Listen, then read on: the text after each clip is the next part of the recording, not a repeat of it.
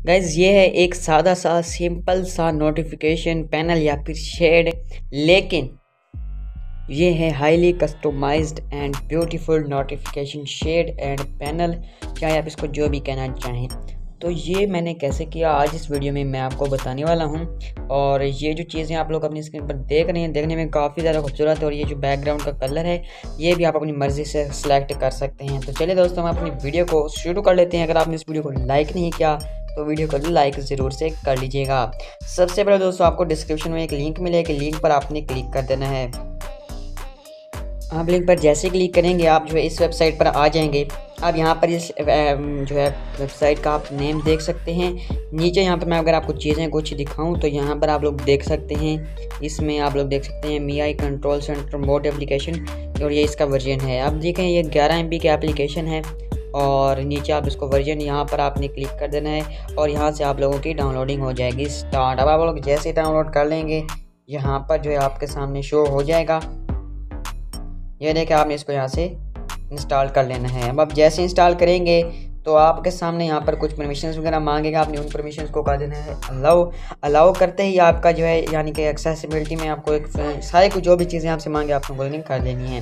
उसके बाद आपने यहाँ पर रनिंग जो है यानी कि इसको यहाँ पर प्रेस करना, ये आपका कंट्रोल मेन्यू या फिर पैनल जो है आपके सामने शो हो जाएगा। आप लोग देख सकते हैं, देखने में भी काफ़ी खूबसूरत है।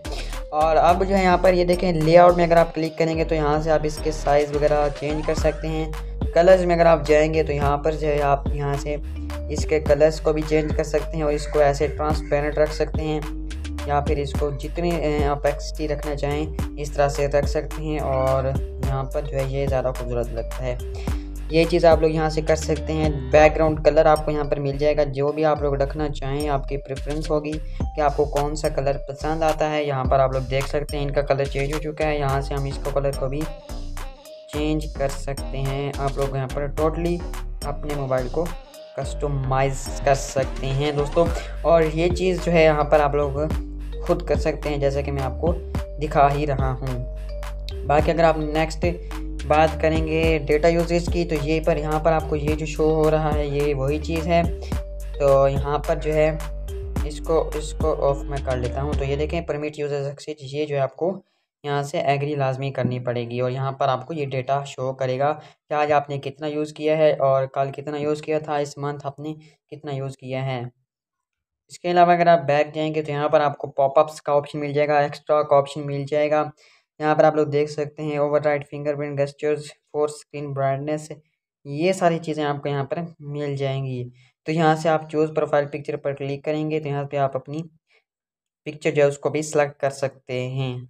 इसके अलावा auto expand notification first all यहाँ पर आप ये भी कर सकते हैं। अब नोटिफिकेशन के लिए आप यहाँ पर इस तरह से स्वाइप करेंगे।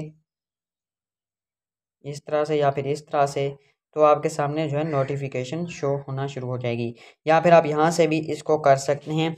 यहाँ पर आप लोगों ने इस पर टैप करना है और आप आप देखेगा ऊपर नोटिफिकेशन शो होंगे और ऐसे ऐसे आप करेंगे। तो आपके सामने वाईफाई मोबाइल डेटा ये सारी चीज़ें आना शुरू हो जाएँगी।